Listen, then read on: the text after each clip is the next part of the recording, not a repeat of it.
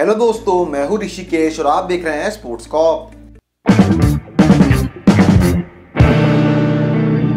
और आज इस वीडियो में मैं आपसे बात करने वाला हूँ Abu Dhabi T ten league के मुकाबले, जो खेला जाएगा Maratha Arabians versus team Abu Dhabi के बीच में। अबू धाबी के शेख जईद स्टेडियम के अंदर 18 नवंबर को शाम के 5 बजे से और इस मैच का लाइव टेलीकास्ट होने वाला है सोनी सिक्स और सोनी 10 3 के ऊपर।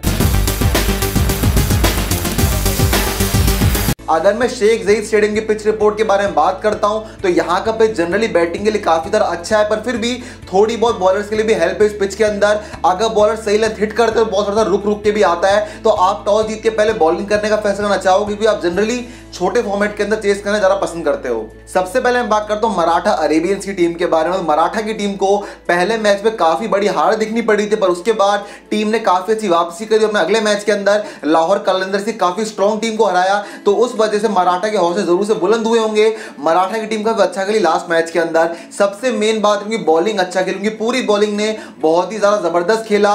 मिचल मैकलैनिकन ने बहुत ही ज़बरदस्त बॉलिंग करते हुए दो विकेट निकाले। दो ओवर में से नौ रन दिए मिचल मैकलैनिकन ने और उन्होंने दो विकेट भी निकाले उन्होंने बताया कि छोटे फॉर्मेट के अंदर मिचल मैकलैनिकन कितने ज़बरदस्त प्लेयर हैं। लसित मलिंगा ने भी उनको उतना ही साथ दिया।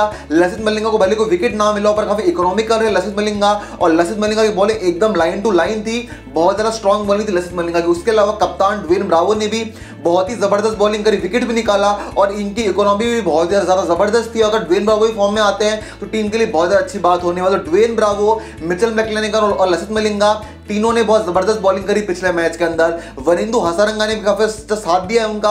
हालाँकि वरिंदु हसारंगा को कोई कोई विकेट नहीं मिला, पर फिर भी वरिंदु हसारंगा की बॉलिंग भी काफ़ी ज़्यादा अच्छी तो इन बॉलर्स के ऊपर काफ़ी कुछ लड़ाई करता मराठा की टीम का।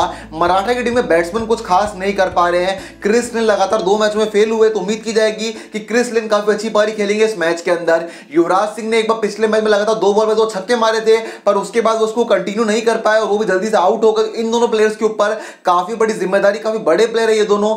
इनको अपनी वर्थ को प्रूव करना पड़ेगा। चैडविक वॉल्टन भी टीम के अंदर वो भी कुछ खास नहीं कर पा रहे पिछले दो मैचों के अंदर। तो टीम चैडविक वॉल्टन से भी उम्मीद कर सकती है। टीम की बॉलिंग बहुत ज़बरदस्त खेल रही है। बॉलर सारे के सारे फॉर्म में आ चुके हैं। अगर इनकी टीम में बैट्समैन फॉर्म में आ जाएँगे तो टीम बहुत ज़बरदस्त बन सकती है।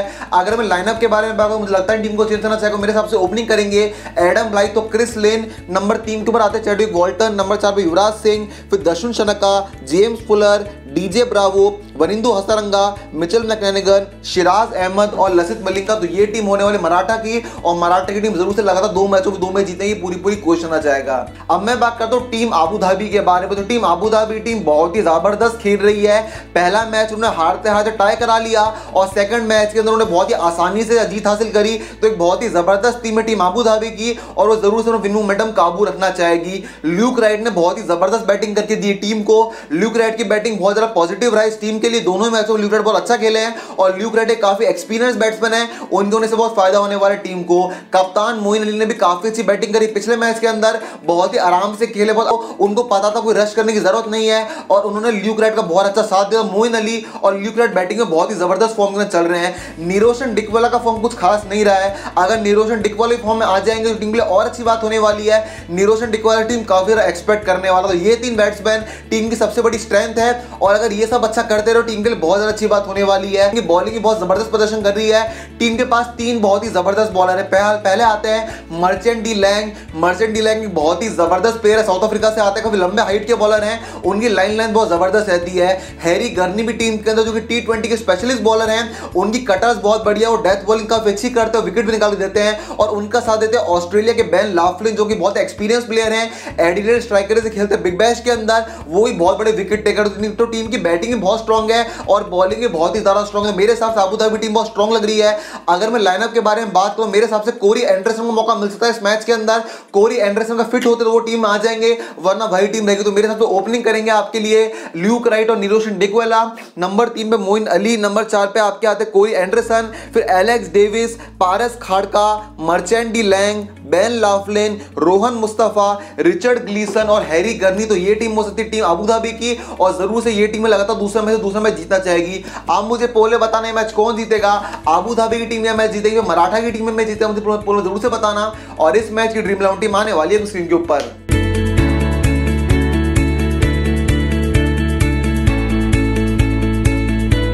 अगर मेरे बजट के बारे में बात करूँ, मेरे हिसाब से इस मैच में आबू धाबी की टीम का पलटा भारी रहने वाला है। आबू धाबी की टीम की बॉलिंग बहुत ही ज़्यादा अच्छी है और उनकी बैटिंग भी बहुत ही ज़बरदस्त खेल काफ़ी बढ़िया खेल उनकी बैटिंग मराठा की टीम भी अच्छी उनकी बॉलिंग बहुत अच्छा करी उनके बैट्समैन लगातार फ्लॉप हो जाए तो मेरे हिसाब से इस मैच में आबू धाबी का पलटा भारी रहने वाला है। तो मुझे उम्मीद है ये छोटी सी वीडियो को पसंद ज़रूर से आई होगी। अगर आपको वीडियो लाइक ज़रूर से करना। सब्सक्राइब करना चैनल को इस वीडियो देखने के लिए। हमारी वीडियो का बहुत बहुत थैंक यू मुलाकात होगी आपसे नेक्स्ट वीडियो के अंदर। और याद रखिएगा स्पोर्ट्स नहीं तो कुछ नहीं।